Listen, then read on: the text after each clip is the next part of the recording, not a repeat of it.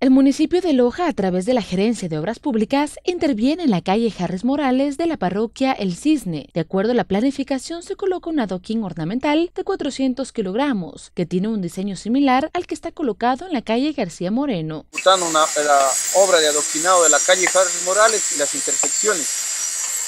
Esta obra tenemos aproximadamente un avance del 80% actualmente, con colocación ya de adoquín y lo que es terminado su colocación de tapas y rejillas en sumidera.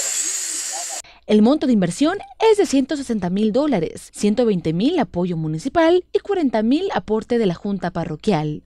Con una área de 2.280 metros cuadrados de intervención y con una longitud de 280 metros.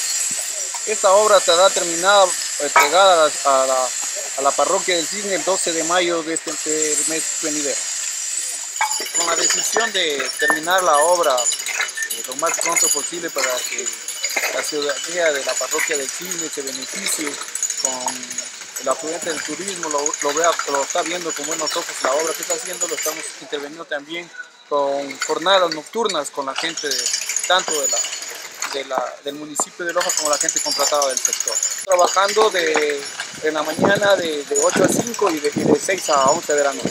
Otra de las obras que realiza el ayuntamiento local es la construcción del mercado, una infraestructura de dos plantas. El sector productivo y artesanal se beneficiará con esta obra. Todos los moradores de la parroquia y aledaños a ella podrán adquirir productos de calidad con las normas higiénicas correspondientes. La obra no solo favorecerá a los habitantes del Cisne, sino también a los turistas que llegan desde el Azuay, la costa e inclusive extranjeros, motivados por la fe a esta pequeña parroquia. La ciudadanía está muy contenta por la intervención. Se resalta que se está cumpliendo con los plazos establecidos.